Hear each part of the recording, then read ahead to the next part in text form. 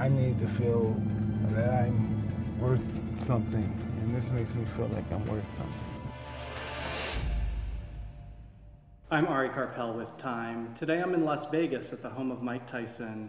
The former undisputed heavyweight champ's passion for racing pigeons is the focus of Animal Planet's reality show, Taking on Tyson.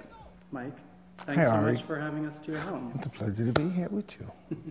A reader in Venice, California wants to know what makes a good fighter.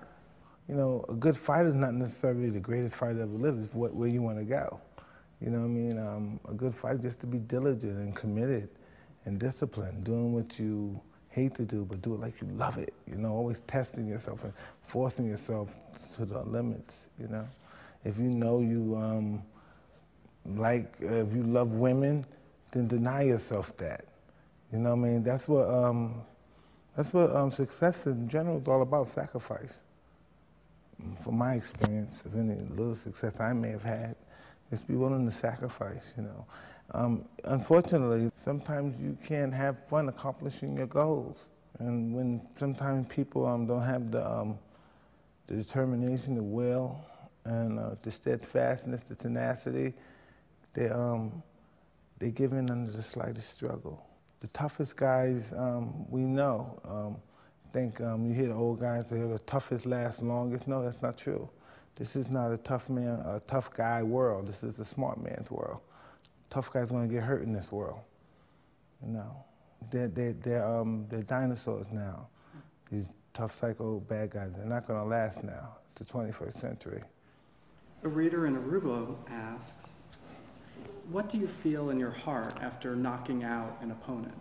Um, job accomplished. You know, this is something you practice over the uh, eight-week period, and um, when you accomplish it, it's just like job accomplished. I trained for that knockout. So sometimes, um, if I, um, when I was a kid and I had my mentor Cus D'Amato, so if I knocked the guy out, I would jump up in there and be excited, yeah, yeah, and he would be angry. What are you excited for jumping around for? What's wrong with you? He said, um, why you act like, you act like this is luck? Like, um, you've been doing this for eight weeks. You, you anticipated this happening. Why are you acting so surprised that it happened when you participated in it happening for eight weeks? Anything different um, would be a failure. A reader in Italy asks, what would you have done differently? Do you have any advice for young celebrities? Always um, be premeditated in your life. We can't yell at someone. We lost the privilege um, to be what you call a celebrity, a person of the world. We lost the um, the luxury to um, curse someone out in public or anything. You know, if they got on your nerves, or this became overbearing. So we lose all these beautiful little cute trinkets. You know, when we get this, whoever they call us, beautiful people, um, smucks, uh, phony people, whatever, whatever it is, you know. But what I realized in life, what I wanted to say to him is that I always thought the more I require was I became a bigger man because I required so much and I, I had so much. But what I found out in life, as life goes on, life is about losing.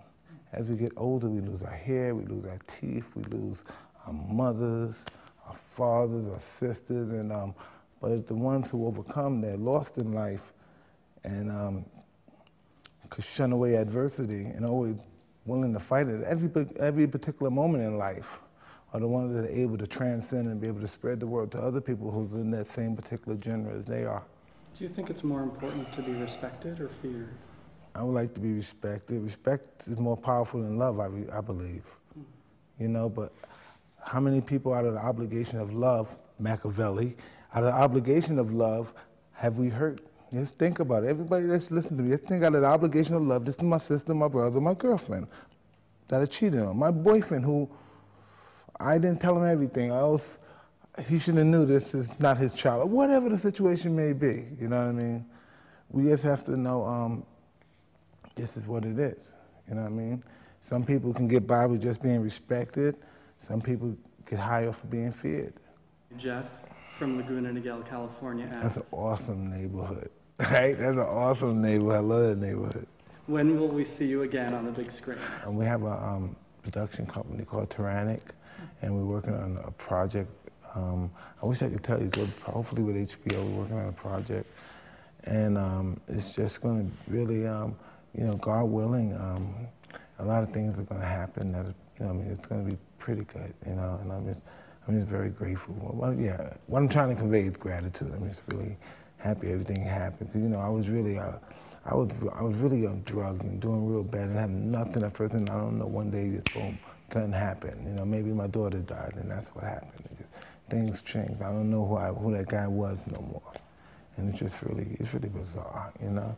I was just raised in hell, um, just chasing people out of, just chasing the whole strip club, It's, it's doing really crazy stuff. And um, I just knew it was time to just try to grow up a little bit. Um, just the maturity was just out of whack. So I just, um, I don't know, I made this um, commitment with myself that I'm going to be, um, I'm going to suit up and boot up, come to work, at least ready to work, and just try to do the right thing.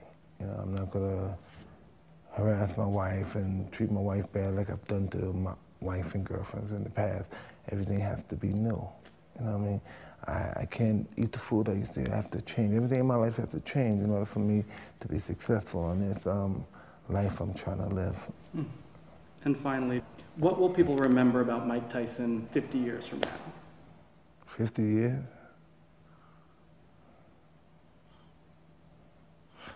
I don't know, that the most destructive, ferocious fighting machine that God ever created.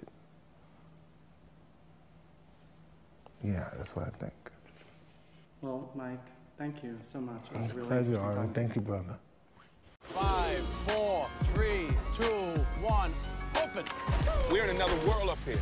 Joe, Joe, let it go! Mike better get ready. He's gonna get an ass whooping. We're not easy pickings. When you do something, you got to do it 100%. We're gonna win because nobody wants to get hit by Mike.